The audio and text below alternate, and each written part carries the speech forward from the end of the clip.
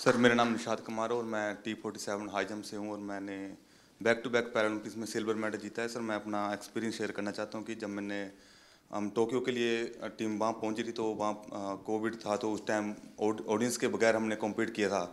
तो अभी हम पैरालंपिक्स में पेरिस में पहुँच खेले तो वहाँ पर एकदम पूरा स्टेडियम भरा हुआ था। तो जिस दिन मैं कम्पीट कर रहा था, पूरी ऑडियंस इंडिया के इंडिया इंडिया नाम से चला रही थी। तो वो बहुत हमें मोटिवेट मिला उससे पुश मिला अपनी परफॉर्मेंस को और मेडल डिफेंड करने के लिए। और अगले दिन मेरी मेडल सेरेमनी थी और वहाँ पर मेडल के बाद मैं अपने दूसरे टीम मेंबर्स को हाई जंप में सपोर्ट करने के लिए पहुँचा तो मेडल मेरे गले में था। और उस टाइम फ्रेंच फैमिली मेरे को देख रही थी कि कल हम इस खिलाड़ी को सपोर्ट कर रहे थे आज ये हमारे बीच में बैठा है। और ये काफ़ी टाइम से वो मुझे देख रही थी कि हमें कब मौका मिले इस खिलाड़ी के साथ फ़ोटो लेने का। तो आ, जैसे ही कॉम्पिटिशन ख़त्म हुआ तो मैंने अपनी फ़ोटो के लिए मैं नीचे गया फ़ोटो, फ़ोटो के लिए और उन्होंने मुझसे फ़ोटो मांगने मांगी तो उनके बच्चे थे साथ में छोटे छोटे। तो मैंने उनके साथ फ़ोटो ली और उनके हाथ में बच्चों के हाथ में मेडल दिया। वो आई थिंक छः से सात साल के होंगे। तो वो बच्चे मतलब एकदम नम मायूस से हो गए कि मेडल हमें देखने को मिल रहा है। कल हम इस खिलाड़ी के लिए चेयरअप कर रहे थे और आज हमारे बीच में खड़े हैं और फ़ोटो ले रहे हैं हमारे को। तो उनकी मम्मी ने मेरे को बोला कि हमारा यहाँ पेरिस में आना कंपटीशन देखना ये सक्सेसफुल होगा कि आप हमारे बीच में हमारे बच्चों के साथ फ़ोटो ले रहे हो और उनको ऑटोग्राफ दिया आपने तो वो फैमिली पूरी खुश होगी। तो ये मेरा एक्सपीरियंस है सर जो मतलब बहुत बहुत बढ़िया। थैंक यू सर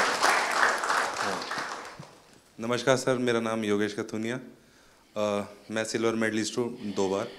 तो मैं अपना एक्सपीरियंस सर एक चीज़ शेयर करना चाहता हूँ। एक्सपीरियंस नहीं है वो है कंसिस्टेंसी वो कंसिस्टेंसी सर आपकी वजह से आई है क्योंकि आपने जो डिफरेंट स्कीम्स इंडिया में लॉन्च करी है चाहे वो टॉप स्कीम्स हो खेलो इंडिया स्कीम्स हो एन हो, वो सर आपकी वजह से है कि आज हम सारे 29 मेडल्स लेके आए हैं। और सर मैं एक चीज़ और कहना चाहूँगा, बाकी लोगों के लिए आप पीएम का मतलब होता है कि प्राइम मिनिस्टर और हमार, हम सब के लिए आप पीएम का मतलब है परम मित्र। वाह।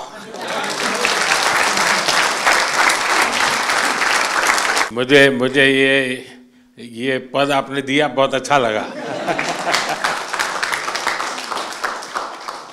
मैं भी चाहता हूँ जी सच्चे अर्थ में एक मित्र के रूप में आपके साथ काम करता रहूँ। सर मेरा नाम नवदीप है। सर मैं इस बार जिनकी रील सबसे ज़्यादा पॉपुलर हुई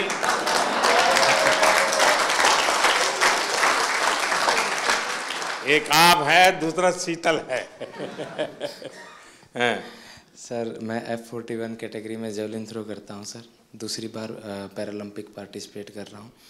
सर आ, मेरा इवेंट है ना सबसे लास्ट दिन था सर। और मैं तकरीबन 21 तारीख को चला गया था सर उधर। तो जैसे ही मेडल आने शुरू हुए ना सर तो एक आ, मन में घबराहट होनी शुरू हो गई थी कि सब क्या आ रहे मेरा क्या होगा? तो सर पर फिर भी सर जैसे सीनियर एथलीट्स थे सर जैसे सुमित भाई था अजीत भाई साहब थे संदीप भाई साहब थे देवेंद्र सर थे।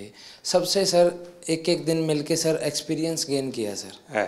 कि आप कैसा फील करते हो मेरे को क्या करना चाहिए। और सर एंड तक आते आते सर मैं बिल्कुल फ्री माइंड होके खेलने वाह। थैंक यू सर नमस्कार सर मैं Rakshita Raju visually impaired athlete है। ये मेरा पहला ओलंपिक है। I am very happy and experienced lot of and I am two times para Asian game gold medalist है मैं thankful to my guide runners and my coach Rahul Balakrishna sir वो इधर ही है मेरा साथ without guide runner I can't run I am very I am feel very happy and definitely 2028 I will get gold medal in Paralympics. Wow. Congratulations and wish you all the best. Uh, my guide runners and my coach motivated a lot of me. I'm very, very thankful uh, because uh, morning and evening, without any expectation, मेरा साथ time uh, spend करेगा मैं बहुत बहुत धन्यवाद वाह चलिए साथियों मुझे बहुत अच्छा लगा आप सबसे बात करने का अवसर मिला इस बार आप लोग जब गए तब मैं फिजिकली तो मिल नहीं पाया था, क्योंकि काफ़ी लोग अलग अलग जगह पर ट्रेनिंग कर रहे थे और समय की भी कुछ कठिनाई थी। तो मैंने वर्चुअली भी कोशिश की कि आप सबसे बात करूँ। और उस दिन मैंने एक बात कही थी, शायद आपको याद होगा। मैंने कहा था, मैं आज आप लोगों को देशवासियों का एक संदेश देने आया हूँ। और मैंने कहा था कि पूरा हिंदुस्तान कह रहा है विजय भव।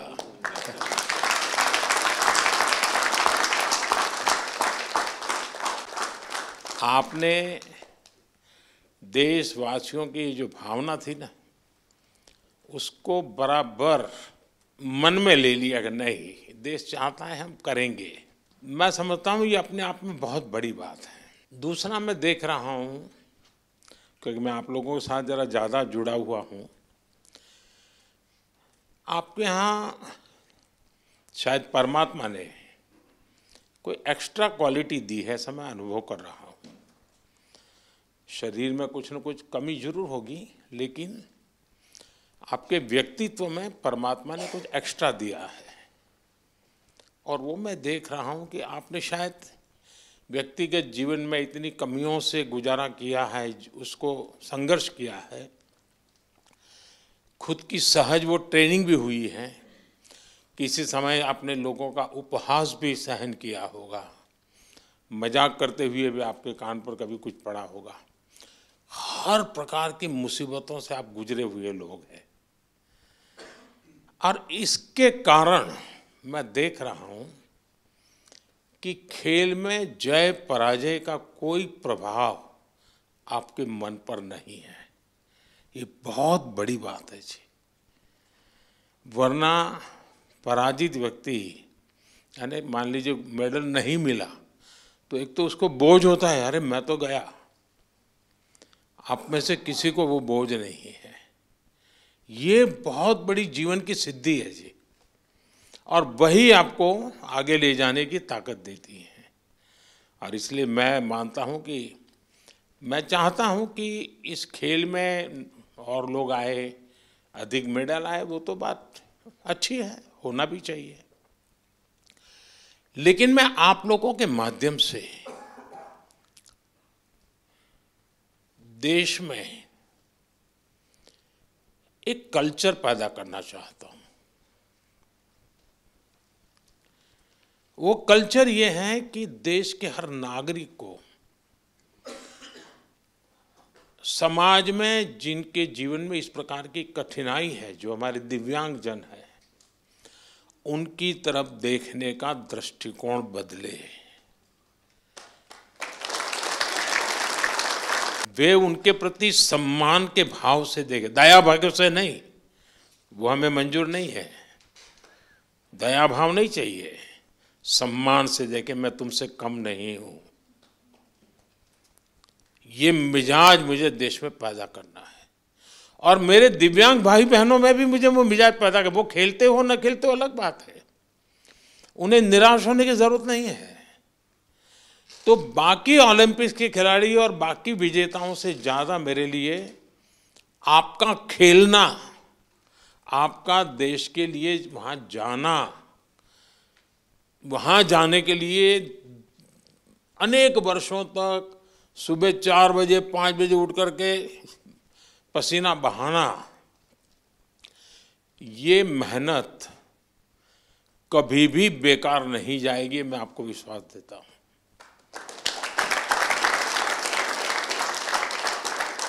क्योंकि अब आपके लिए भी सभी दिव्यांगजनों के लिए समाज में एक नया वातावरण पैदा होना शुरू हो चुका है। व्यवस्थाएँ भी विकसित हो रही हैं।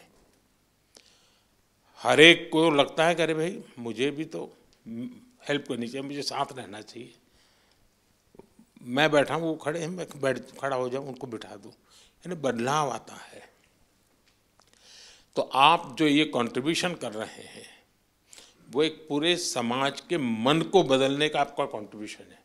सिर्फ़ मेडल नहीं मेडल से ज़्यादा आप माहौल बदल रहे हैं।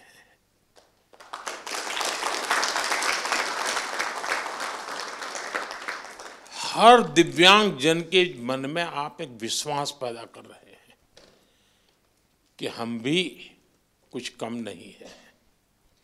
और मैं मानता हूँ कि हमने इस चीज़ को उसी रूप में करना है। आखिरकार मेडल मेडल की संख्या आजकल तो युग ही ऐसा है कि इन चीज़ों को काउंट किया ही जाता है। लेकिन 140 करोड़ का देश आज जिस जज्बे के साथ खड़ा हुआ है खेलने के लिए नहीं, जीतने के लिए जा रहे हैं। मैं एक पार्टिसिपेंट्स हूँ, ऐसा नहीं है। मैं एक परफॉर्मर हूँ। ये जो मिजाज है ना, वो देश की ताकत बनता है। और आप देश की उस ताकत में नई ऊर्जा भरते हैं। तो मेरी तरफ़ से आप सबको बहुत बहुत बधाई। सबका मूड देख करके मुझे अच्छा लगा।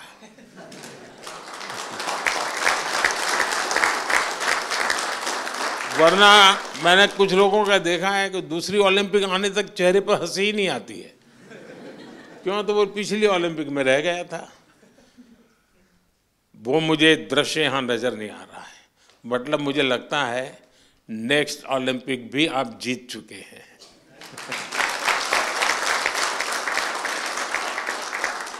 ये आपके आँखों से मैं पढ़ पा रहा हूँ। आपके आपके अंदर जो विश्वास वो मैं देख पा रहा हूँ।